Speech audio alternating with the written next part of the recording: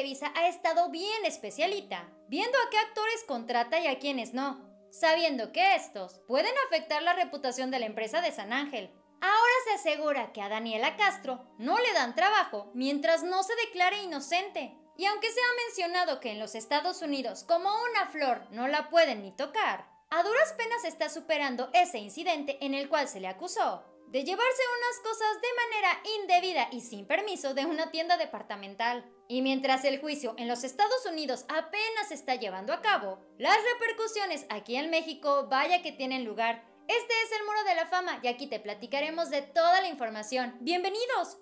En 2018, un guardia de seguridad de un centro comercial se llevó a Daniela Castro después de que la cachara llevándose unas prendas con un valor de 700 dólares bien escondiditas ahí en su bolsa, como que nadie le iba a ver, nadie se iba a percatar y órale que la cachan. La propia Daniela Castro aseguró que el proceso legal, a pesar de que se sigue llevando a cabo, ya la declararon inocente, pero aún así el caso se tiene que culminar. Digamos que supuestamente ella sí resulta culpable, pero no lo quiere admitir, así que dice a todo el mundo que ella es inocente, que ella no hizo nada. Pero el papelito, todo el proceso todavía está ahí, pendiente. Es por esa razón que los ejecutivos de Televisa están en pausa viendo qué onda. Y hasta que no tengan el papelito donde diga Daniela Castro es inocente de haberse llevado tanta ropa de la tienda fulana de tal en El Paso, Texas, ellos no la van a contratar.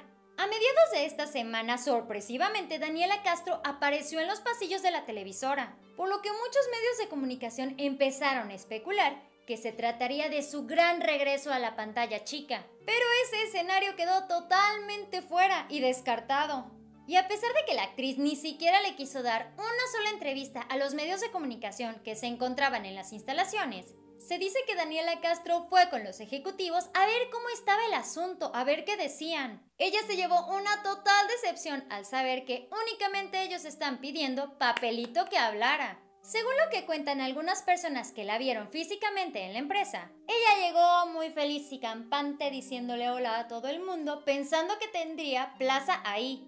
Los ejecutivos de San Ángel le dijeron mamacita cuando quieras regresa, pero tienes que demostrar que sí fuiste inocente. Y más que nada que el caso en Estados Unidos ya esté completamente cerrado. Debido a esta gigantesca incertidumbre de si sí es inocente, si no es inocente, Televisa no se quiere animar a darle una propuesta laboral. Pues nada más imagínate que llegue a pasar el caso en que ella resulte culpable y tenga que regresarse a los Estados Unidos en plena grabación de televisión. Obviamente tendría que dejar vetadísima a la producción, cosa que por supuesto les costaría una megalanota. El regreso de Daniela Castro no es tanto por necesidad, sino por ocio y porque es un trabajo que simple y sencillamente le encanta. Pero el tener esa espinita en tu corazón de saber si la Corte de Estados Unidos te declarará culpable o inocente, no deja dormir a Daniela Castro.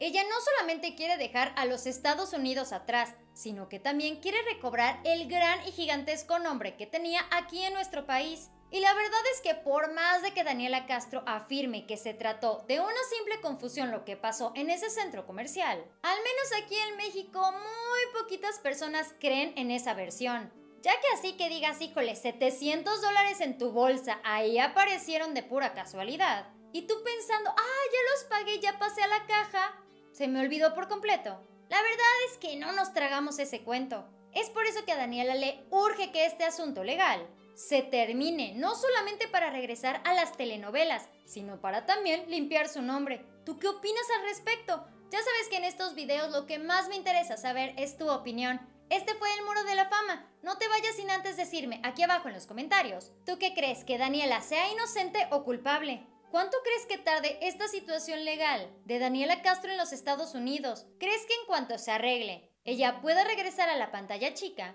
No te vayas de este video sin antes suscribirte a nuestro canal de YouTube dando clic aquí abajo al igual que seguirnos en nuestra página en Facebook. Acuérdate de activar la campana de notificaciones para que así la plataforma te avise cada vez que subamos un video nuevo. Y checa todo nuestro contenido. Espero que tengas un preciosísimo y bien chulo inicio de semana. Nos vemos muy pronto. Bye.